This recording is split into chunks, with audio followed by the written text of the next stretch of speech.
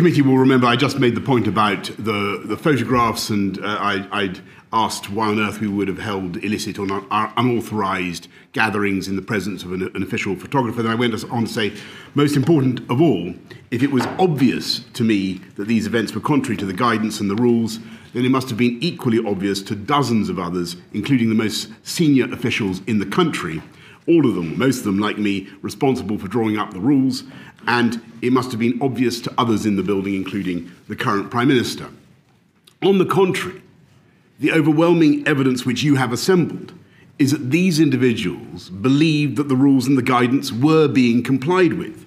And what is so telling is the number of officials who say the same thing and the total silence of the written or electronic record about concerns that anyone wanted to raise with me.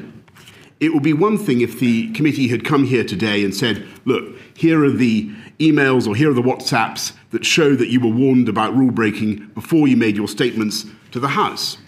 You haven't got any such evidence because that never happened. But if you now say instead that it must have been obvious that we were going against the rules and the guidance, then let's be clear about what you are saying. You're not only accusing me of lying, you're accusing all those civil servants, advisors, MPs, of lying about what they believed at the time to be going on. And as far as I know, you're not giving any of them the chance to explain themselves with their own oral evidence. I don't think you seriously mean to accuse those individuals of lying, and I don't think you can seriously mean to accuse me of lying. Now, everyone knows that there are some features of this proceeding that are extremely peculiar. I have the utmost respect for you, the chair, but uh, you've said some things about this matter before reading the evidence, which are plainly uh, and wrongly prejudicial or prejudge the very issue on which you are adjudicating.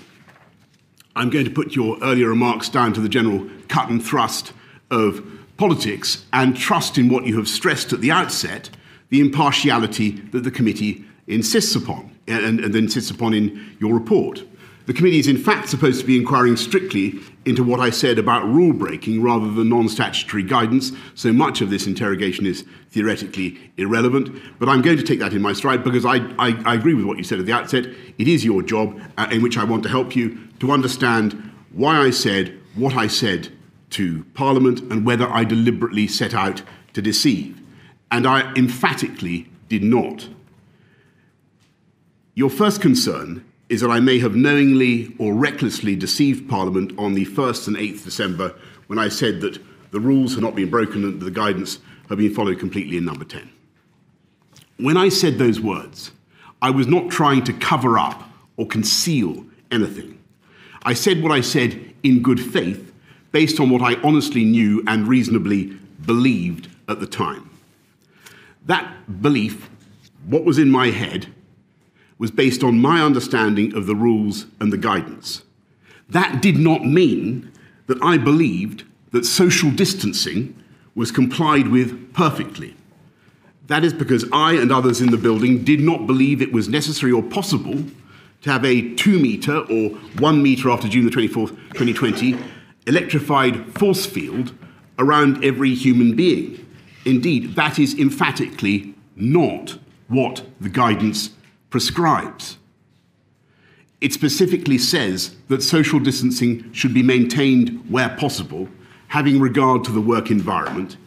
And it is clear that in number 10 we had real difficulties in both working efficiently and at speed and in maintaining perfect social distancing. It's a cramped, narrow uh, 18th century townhouse. We had no choice but to meet day in, day out, seven days a week in an unrelenting battle against COVID. I had to call many meetings on the spot and to call a great many, uh, make a great many high speed decisions. Yes, we certainly did have social distancing. We avoided physical contact. We gave way to each other in the corridors and on the stairs. We gave each other as wide a berth as we could. But it would have been impossible to have a drill sergeant measuring the distance between us all hours of the day and night.